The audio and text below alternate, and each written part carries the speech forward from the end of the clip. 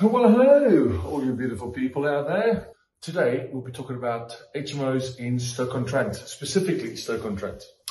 And what does 2023 hold for HMOs in Stoke-on-Trent? As you can see, I am in my anti-traffic gear, so making sure I can get in and out of um, traffic as I can and quick to meetings as I can. Um, and on a windy day like today, it makes it very, very entertaining. HMOs in Stoke-on-Trent for 2023. Important to know that the war is still going on in the Ukraine. Energy prices have gone up, interest rates has gone up, cost of living has gone up, everything has gone up. Rent has gone up, um, which has helped a little bit, but not at the same rate as what the interest rates have gone up uh, and the energy prices. What HMOs work in Stoke? Currently I'm in one of the HMOs that we manage and it's a nine bed HMO. Uh, this one works very well, partly because all the rooms are en suite, all the rooms are double, which means that the cheapest room in this house is achieving 450 pounds per calendar month. What do you need to make it work? Well, number one, you need more than five or more rooms. Anything less than that, you're going to really struggle because, well, the cost of living is just too much. You won't be able to sustain the costs and make money. As you can see, this house is nice and big. All the lights work on sensors so nothing stays on for a long time. And then coming in to the kitchen, um, nice and big kitchen, uh, good for all communal areas. So it just works very, very well. I'll carry on with this in a moment and another property of ours, but it's important to know that you need to have five bedrooms or more. Right, so as we've just discussed, five and above rooms works really, really well. I'm just in another one of our HMOs, and as you can see, the communal area looks great. Kitchen looks great, and no, I didn't uh, tidy up. Um, it is just one of these houses where people just tend to, to look after the place because it's such a great refurb that was done four years ago, as I've said in other videos already and just look at the state of it. It's still in really good condition. Make sure that you spend that money on your refurb. Make sure that you've got that thermal envelope going around. Make sure that you've got all the necessary heating specifications uh, that will be dictated by your local council and things like that. Make sure that your the quality of fixtures and fittings that you use is really good. Make sure that furniture that you put in, like this sofa has seen how many bums and asses through it already and still in not bad condition. I didn't change or do anything in this communal space when I came in. So it's warts and all here, baby. Anyway, spend the money on the refurb. Otherwise you will spend that money during the maintenance or the lifetime that you've got that property because issues will come up. This house, any house will look great when a refurb is just finished or when it's just done. But now that it's a couple of years old, what does it look like now?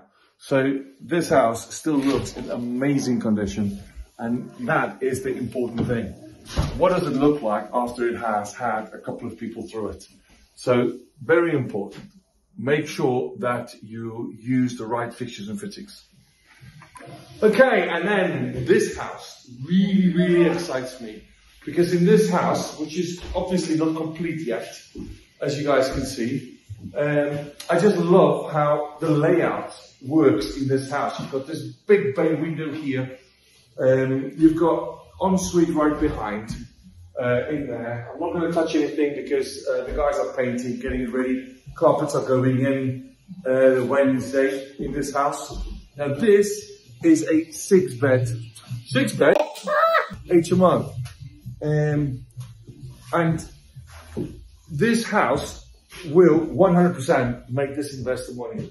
Again, big windows, skylight, um, and then you've got your ensuite in there. What I like what the investor's done here, they thought about things. So now you've got your sockets there and sockets on this side. So obviously you know where the bed's going. You know that the planning, the thought process has taken place before they've even started this refurb.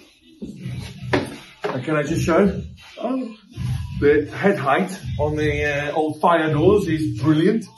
Then, something I've touched on a lot is the flow of the house. As you can see, got a nice big corridor from there, flowing straight through into what is now a open plan kitchen diner. Just look at that.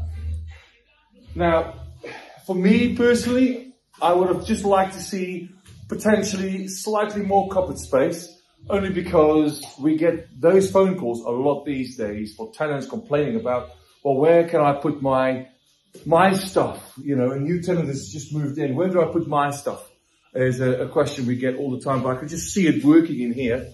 Um, how, you know, people are, can, can gather in here and actually have a good time. Now, I like this staircase as well. This is not your typical Stoke staircase. Why is it not your typical Stoke staircase? Because I don't need my helmet. Alright, coming up. Have a look at that. Swinging to the left, staircase going up to the loft, and then you've got one bedroom down here. Now, they have very cleverly thought about this as well, because sometimes you'll have visitors and they potentially might want to use the toilet, which is a separate toilet to all the other rooms in here. Boiler room in there, all nicely insulated in there. And then, again, this room was super tiny. This used to be two rooms. So, boxed it off uh, for the ensuite, but now you've got a lovely double bedroom. Again, they thought about things. Socket on the wall for the TV.